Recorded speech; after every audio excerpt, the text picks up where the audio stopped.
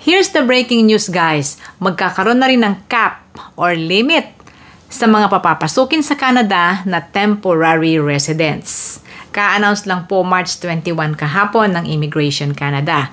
Pag sinabing temporary residents, kasama dyan ang foreign workers, mga students, mga asylum seekers.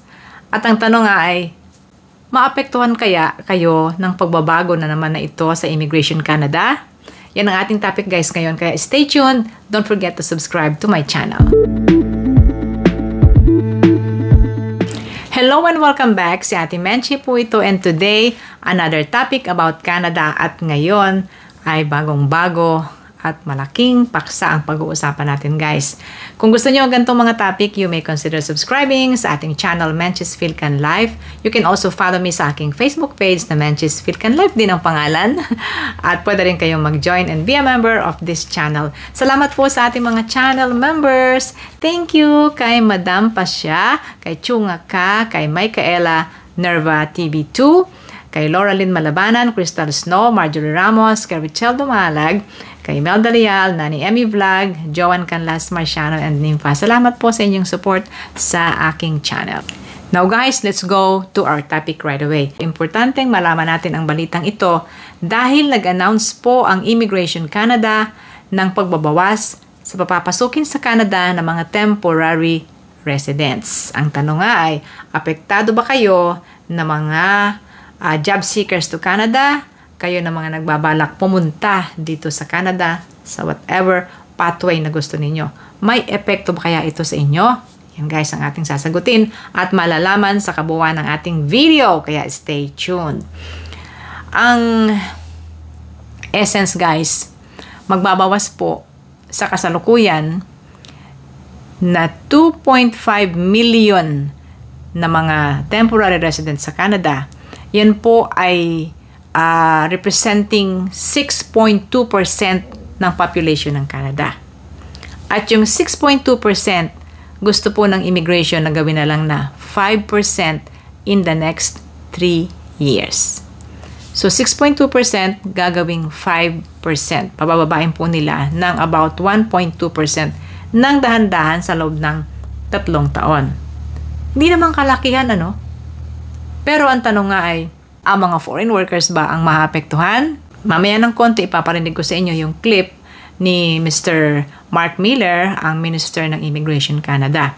At doon natin maririnig from the horse's mouth, sabi nga, no? Bigyan muna natin ng counting backgrounder itong usapin na ito na napakarami daw po ng temporary uh, residents sa Canada mga workers, mga estudyante, mga visitor, pati mga asylum seekers combined, inaabot po ng nasa 2.5 million. Okay, so napakarami. Bakit? Kasi ang background po nito, during the pandemic, marami po talagang um, nagkulang, nagka-shortage po talaga ng workers sa Canada. So anong ginawa? Ay nag-hire ang Canada ng napakaraming workers abroad sapagkat kulang dito, eh di kumuha ng marami sa abroad. Ayun. So ngayon, ang sabi ng immigration, uy, nakaka-recover na kami. Halos nagbabalik na sa normal ang takbo ng ekonomiya at ang labor market ay unti-unting nafi-fill up na. Pero hindi pa rin po full, okay? And because of that, ay pauuntiin na po, babawasan na nila. Yun po ang uh, background nun. Ang record ng mga temporary foreign workers sa Canada ay umabot daw po ng 700,000 only in 2023. Yun ha. Ganun karami daw po yun. At sa kabuuan ngayon ay meron pong 1 million ang bilang ng mga workers na yan na enough para punuan yung mga bakante para sa permanent residency in 6 to 7 years. Ang gusto po ngayon ng Canada ay matiyak na ang mga temporary workers sa Canada o temporary residents sa Canada ay ma-assure ng permanent residency. Eh maganda naman pala yung kanilang gusto, no? Ma-assure ng permanent residency. Yun nga lang po, mayroong maapektuhan. At mamaya iisa-isahin ko sa inyo yung mga specific na sinasabi nila na mga epekto lalo na sa mga foreign workers. In the meantime, ipaparinig ko muna sa inyo ang clip ni Mark Miller, ang Immigration Minister ng Canada. Uh, Canada has seen a sharp increase in the volume of temporary residents in recent years, from a rise of international students to more foreign workers filling job vacancies to those fleeing wars and natural disasters. To be clear from the start, temporary residents enrich Canada's economic, social, and cultural fabric. Canada's future economic vibrancy depends on those we bring in today, whether we like that or not. Today, Canada's labour market is recovering, or pretty much has recovered from the pandemic, and employers are experiencing less difficulty filling jobs. However, changes are needed to make the system more efficient and more sustainable. As part of our efforts for temporary residents to transition to permanent residency, we'll have more domestic draws for us, for the feds, and ask provinces and territories taking part in the provincial nominee program to do the same with their allocations. This will realign our efforts and provide a pathway for those who are in the country who wish to stay and contribute to the country and to the economy. Recently, Canada's temporary resident volume has increased significantly, now reaching up to 2.5 million or 6.2% of our population in 2023. Therefore, in our levels planning, we'll be including a target in order to reach an adequate volume of temporary residents that we can welcome. As a starting point, we are targeting a decrease in our temporary residents population to 5% over the next three years. This target will be, of course, finalized in the fall after consulting our provincial and territorial counterparts and as part of our annual levels planning. So isa-summarize natin guys, paikliin na lang natin yung kabuuan ng announcement na ito. Unang-una, ang sinasabi po nilang batayan ay ang 2.5 million na mga temporary residents sa Canada ngayon, comprising or representing 6.2% ng population ng Canada. And they want the 6.2% to be reduced to 5% in 3 years' time. Uh, ayaw nila na maging 2.5 million uli yan by 3 uh, years after. Okay, so yun po yun. Ano ang epekto nito sa mga job seekers, sa mga temporary foreign workers? Yun ang tanong. At alam kong iniintay nyo ang kasagutan na ito.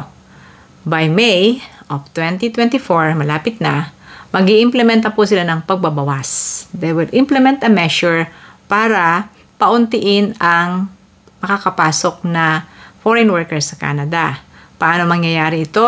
Yun pong mga employers na dati-rati ay may allocation sila na 30% ng empleyado nila ay kinukuha outside Canada, liliitan na po yan at gagawin na lang 20%.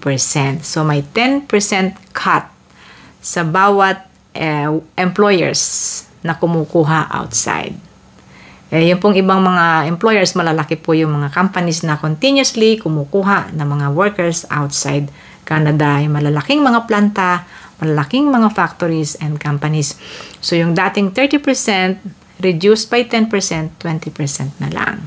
But the good news is, hindi muna po isasama, exempted pa so far ngayon hanggang August, ang healthcare at ang construction and even agriculture. Isa pang pagbabago, ang LMIA, Labor Market Impact Assessment, paiksin po ang validity. Kung dati ay 1 year ang validity ng LMIA, gagawin na lang pong 6 months.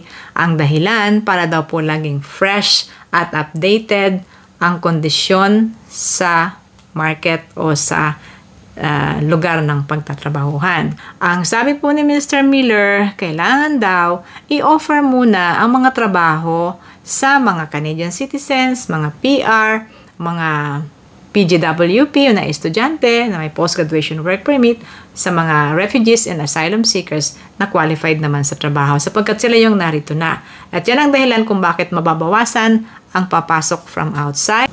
On the positive side, guys, They will make sure that most of the temporary residents will become permanent resident. Yun nga po yung sinasabi nila na hindi balanse yung ratio ng napakarami na temporary workers para sa PR. Kaya i-reduce nila yung number of uh, uh, temporary residents para mag-match doon po sa allotment para sa mga permanent residency status. Yun, maganda naman yon at ako'y umaayon din ako doon. Sa ngayon daw po, ganito karami ang mga temporary residents sa Canada. Ipapakita ko sa inyo ang table. Tingnan ninyo kung saang probinsya kayo gustong pumunta at makikita nyo dyan kung gaano karami ang mga temporary residents depende sa kanilang classification. Ngayon guys, sa ating conclusion, ako nakikita ko doon na may epekto talaga ito sa mga temporary foreign workers, sa mga job seekers from outside. Dahil yung dating 30% na allowed na kuning empleyado ay binawasan nila po, no? And that will take effect soon, no? Ganun pa man, palagi na po na mag-hire ang Canada ng mga workers abroad dahil talagang may mga trabaho dito na hindi ma-fill upan ng mga locals. Kaya huwag kayong malulungkot, huwag kayong ma-disappoint at ituloy lang po ang inyong mga balak na pag apply I would suggest na dumiretso po kayo sa mga agencies sapagkat sa mga agencies ay sure na na meron silang mga employers na naghihintay ng inyong mga application. Sa mga direct hiring naman, ang tingin ko, pwede pa rin po kayong mag-apply. Uh, kailangan lang ng patuloy na tiyaga at sana po ay makakuha kayo ng tamang employer na talagang naghihintay ng workers from outside Canada. Thank you for watching guys. Kung hindi pa kayo nakasubscribe, click the subscribe button. At sa mga dati ko ng subscribers, thank you very much po sa inyong palaging panonood at suporta. Rin kayong mag-follow sa aking Facebook page na Menchis Philcan Life and you can join and be a member of this channel. Thank you, channel members. Thank you kay Madam Pasya, kay Chunga Ka, kay Micaela Nerva TV2, kay Laura Malabanan, Crystal Snow, Marjorie Ramos, kay Richel Dumalag, kay Melda Leal, Nani Emmy Vlog, Joan Canlas Marciano, and Nympha. Salamat po sa inyong support sa aking channel. That's it for now guys. Hanggang sa susunod, sa Ate Menchi po ito. Thank you very much and God bless.